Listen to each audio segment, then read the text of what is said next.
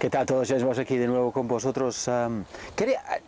una pregunta de un posible cliente el otro día de que me, me preguntaba, pues, ¿qué, James, ¿cuál es tu filosofía de, de enseñanza? ¿Qué es lo que estás intentando um, conseguir con los alumnos? Y, um, bueno, me hizo pensar, poco quizás no lo había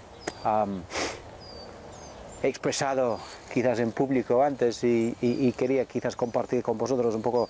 que, cómo, cómo, veo, cómo veo las cosas en las clases y la gran mayoría de mis alumnos son jugadores de fin de semana, son amateurs intentando jugar un poco mejor y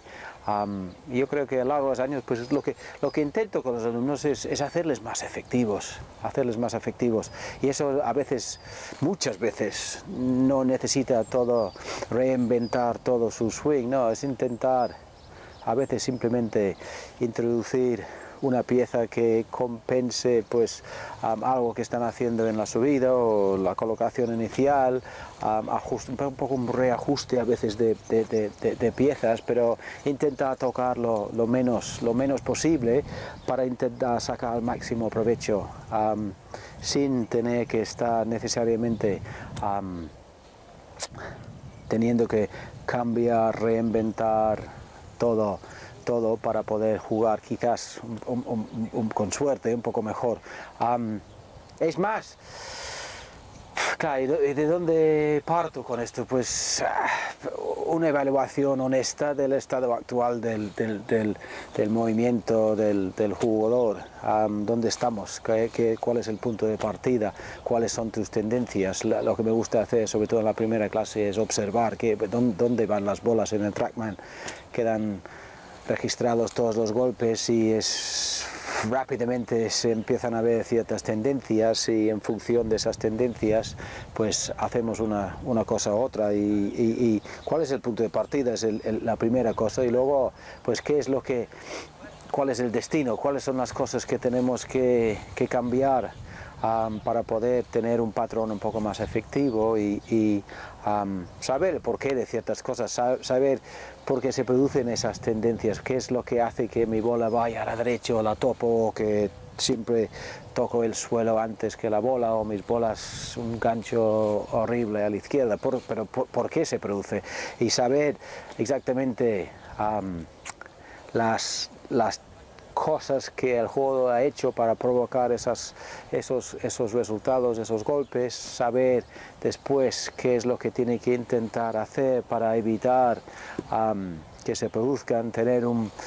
recursos, tener un plan de acción en el campo para poder responder a, esas, esas tendencias. Y, y eso es en el fondo lo que estoy intentando y a veces, pues claro, intentando hacerlo de una forma menos invasiva y uno de mis alumnos el año pasado, que es un cirujano de la espalda, traumatólogo, y, claro, él me dijo que no necesariamente saco el bisturí a la, a la, primera, no, intentamos pues tratamientos más conservadores y eso poco mi filosofía también, pues dónde estamos, qué es lo que puedo hacer sin tocar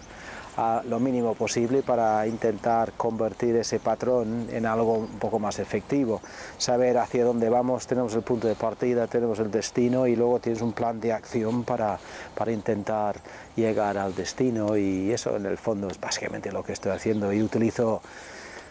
cualquier método para intentar conseguir eso y, y, ah, y luego Claro, hay alumnos, la habilidad de responder, cuáles son mis tendencias, intentar alejarme un poco de, ellas y luego quizás según el alumno, según sus objetivos, intentar darle unos objetivos a mediano plazo para intentar incorporar quizás cosas que sé que podrían hacer un poco mejor, un poco más efectivo su, su, patrón de juego y ah, no sé, parto desde el conocimiento, ¿no? la conciencia, al principio la conciencia y, qué es lo que estoy haciendo, qué es lo que necesito hacer para mejorar lo que estoy haciendo y así tienes un, punto de partida y un destino y intentamos unir las dos cosas de la manera más efectiva posible y eso es más o menos lo que estoy intentando hacer con todos los alumnos. Muy bien, espero que esto haya ayudado. a poco más filosófico este, este vídeo, pero bueno, espero que ayude y, obviamente yo encantado de echaros una mano si, si, si, si es posible. Muy bien, muchas gracias por ver los vídeos y de que poco esté revuelto con vosotros. Adiós.